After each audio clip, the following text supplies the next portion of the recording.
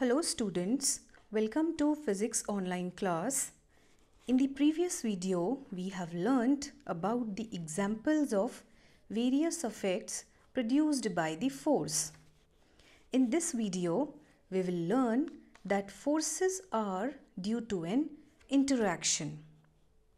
Before we go further, we should know the meaning of the term interaction. Interaction means involvement of two objects. In interaction, each object act in such a way as to have an effect on the other object. An interaction of one object with another object results in a force between two objects. In other words, force arises due to the interaction between two objects. If there is no interaction between two objects, no force can show its effect. Let us understand it by considering a situation. Suppose a man is standing behind a stationary car.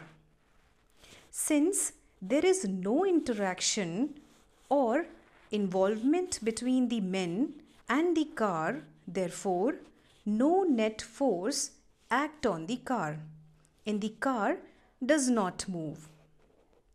Now, if the man pushes the car with his hands, now since there is an interaction or involvement between the men and the car, therefore a force arises which makes the car move in the direction of applied force.